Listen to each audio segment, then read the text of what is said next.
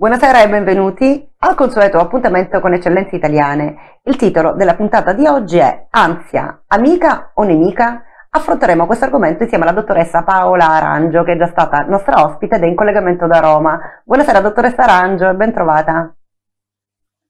Buonasera e grazie dell'invito.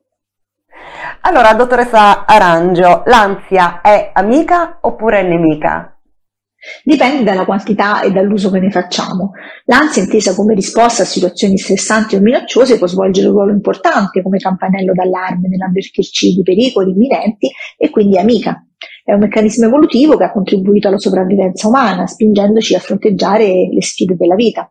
Ma quando il campanello d'allarme dell'ansia suona ininterrottamente può diventare problematico e può interferire con la qualità della vita, influenzando così il benessere sia emotivo che fisico dell'individuo. Quindi è tutta una questione di quantità. L'ansia va gestita e non eliminata, è un segnale d'allarme che va interpretato. Quando si sente arrivare bisognerebbe fermarsi un attimo e cercare di capire qual è il messaggio dietro l'ansia. Forse è un invito a prestare attenzione alle proprie esigenze, a rallentare o a cercare supporto. Come quando si sta guidando e si accende una spia che non si conosce sul cruscotto. Ci si preoccupa, ci si chiede cosa potrebbe essere, ci si ferma per cercare di capire, si guarda nel libretto delle istruzioni, si chiede a qualcuno finché non si capisce. Nella quotidianità invece non ci si ferma, si continuano a fare mille attività e l'ansia aumenta, ci si sente affannati ma si continua comunque. Quindi se accettiamo l'ansia come un segnale prezioso possiamo imparare a trasformarla in un'alleata. L'ansia si sta dicendo di fermarci per capire cosa c'è che non va e quindi non demonizziamola, ma ascoltiamola e impariamo ad ascoltarci di più. L'ansia fisiologica può essere quindi nostra amica e alleata, altra cosa è invece un disturbo d'ansia che va curato. E quali sono, dottoressa, le differenze tra un'ansia fisiologica e un disturbo d'ansia? L'ansia fisiologica è una reazione emotiva temporanea allo stress e alle sfide della vita quotidiana. È quella che proviamo tutti e che ci aiuta a prepararci ad affrontare situazioni impegnative. Può essere anche stimolante quando dobbiamo affrontare una prova. Invece un disturbo d'ansia si manifesta con una sintomatologia che non è direttamente legata a specifiche situazioni, che persiste nel tempo e che peggiora la qualità della vita. Questo tipo di ansia è spesso accompagnata da sintomi fisici come tachicardia, sudorazione insonnia e può limitare in maniera significativa le attività quotidiane. Una persona dovrebbe considerare di cercare aiuto professionale quando l'intensità e la durata dell'ansia superano normali reazioni allo stress e iniziano a influenzare negativamente la vita lavorativa, sociale e relazionale.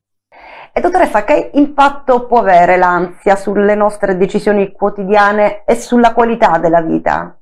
L'ansia può bloccare la capacità decisionale, portando a procrastinazione o decisioni affrettate nel tentativo di alleviare rapidamente il disagio. Questo può avere un impatto diretto sulla qualità della vita, limitando la capacità di sfruttare opportunità importanti o di mantenere relazioni significative. Per esempio, una persona con ansia sociale potrebbe evitare occasioni di incontro, perdendo così opportunità sia lavorative che relazionali. È corretto dire, dottoressa, che l'ansia è una forma di paura?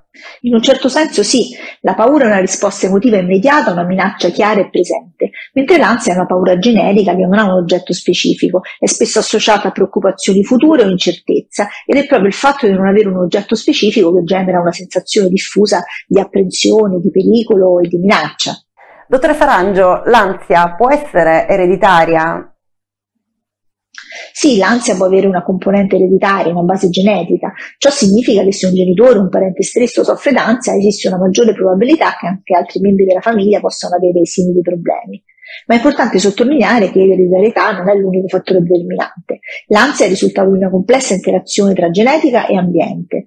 Fattori ambientali come esperienze di vita, stress, traumi e modelli di comportamento appresi possono influenzare in maniera significativa lo sviluppo dei disturbi d'ansia, nel senso che la predisposizione genetica può aumentare la vulnerabilità all'ansia, ma sono l'ambiente e le esperienze personali che giocano un ruolo cruciale nella manifestazione e il mantenimento di questo disturbo. E crescere in un ambiente familiare con dei genitori ansiosi può contribuire allo sviluppo dell'ansia?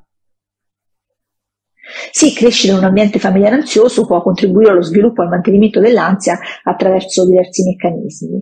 Il modellamento del comportamento, cioè i bambini tendono a imitare i comportamenti dei genitori. Se un genitore manifesta comportamenti ansiosi, il bambino può imparare a rispondere alle situazioni stressanti in modo simile.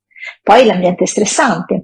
I genitori ansiosi possono creare un ambiente domestico stressante o iperprotettivo che può contribuire all'ansia e nei figli. La costante esposizione a comportamenti di preoccupazione, un'atmosfera di insicurezza può influenzare il modo in cui i bambini percepiscono e reagiscono al mondo. Poi lo stile di comunicazione emotiva. I genitori ansiosi possono trasmettere inconsciamente ansia attraverso le le loro espressioni emotive e la modalità di comunicazione. Per esempio un genitore che esprime frequentemente preoccupazione o paura può insegnare al bambino a percepire il mondo come un luogo minaccioso. E poi le esperienze di vita, esperienze di vita stressanti o traumatiche condivise con genitori ansiosi possono rafforzare la vulnerabilità all'ansia. Se un bambino vive eventi traumatici o periodi di stress insieme a un genitore ansioso, l'impatto di queste esperienze può essere amplificato. L'ambiente familiare e i comportamenti appresi giocano un ruolo cruciale nello sviluppo e nel mantenimento dei disturbi d'ansia, quindi un genitore ansioso dovrebbe imparare a gestire la sua ansia non solo per se stesso, ma anche per evitare di trasmetterla ai figli. I familiari e gli amici come possono aiutare chi soffre d'ansia?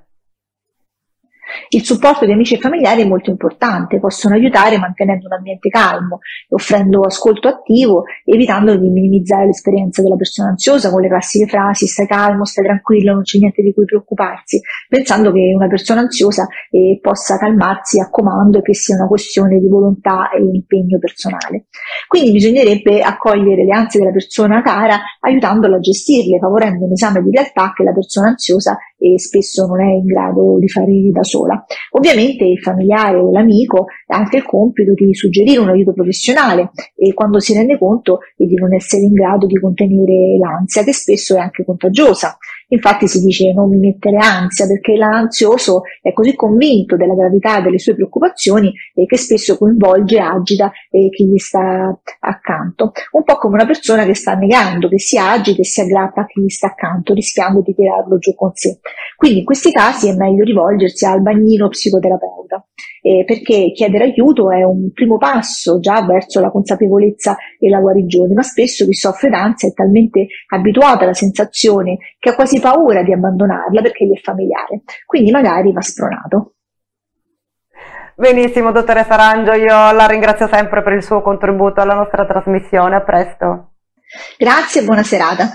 E ringrazio tutti i nostri telespettatori per l'attenzione e vi ricordo che potete vedere le repliche delle nostre puntate sul portale medicina365.it. Io vi do appuntamento alla prossima puntata e vi auguro una buona serata.